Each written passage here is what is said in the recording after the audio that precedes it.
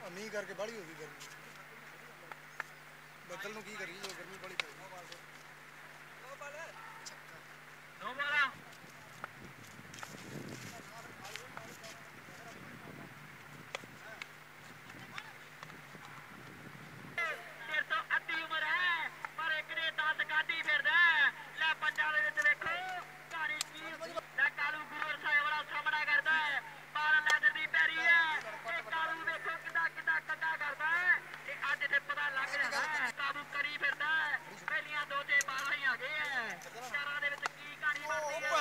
ਸਿੱਖ ਵਾਹ ਓਏ ਛੋਟੇ।